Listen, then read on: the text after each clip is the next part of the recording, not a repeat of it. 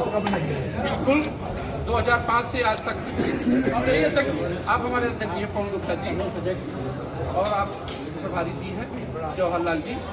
और मैंने मीडिया को बोला है कि अयोध्या में दिख रहा है नीला नीला का अयोध्या में दिख रहा है नीला नीला का वीडियो में चुन रहा है कि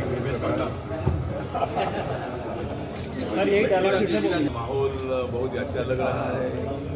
और अयोध्या में मतलब मुझे दिख रहा है नीला नीला अरे सर जी दिख रहा है मुझे नीला नीला का मैं आया हूँ। और वेद प्रकाश गुप्ता जी भारी उपस्थिति जय भीम जय श्री राम। जय भीम जय श्री राम।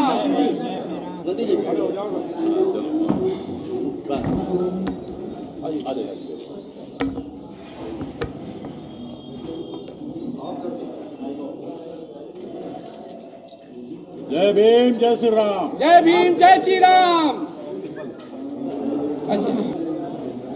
मायावती ने दलितों को धोखा दे दिया है। माया माननीय मायावती जी ने दलितों के भलाई के लिए सत्ता जब थी तब मतलब जो मदद करने की आवश्यकता थी मदद नहीं की है। चार बार मुख्यमंत्री रहने के बावजूद भी दलितों की स्थिति में सुधार उन्होंने लाया नहीं।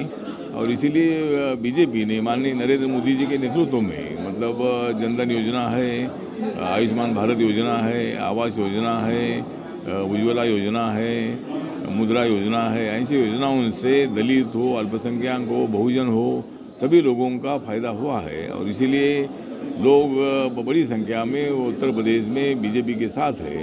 योगी आदित्यनाथ जी ने गुंडाशाही को खत्म कर दिया है। गुंडा राज नहीं दिखता है आज। उत्तर प्रदेश में गुंडा राज। इसका कारण ये है कि योगी आदित्यनाथ जी ने मतलब भारी होटों से जितने का दावा किया है और उसका सपोर्ट करने के लिए मैं आया हूँ और बीजेपी 300 से ज़्यादा सीटें पार करेगी और माननीय अखिलेश यादव जी को, समाजवादी पार्टी को भारी धक्का देने का काम इस चुनाव में होने वाला है।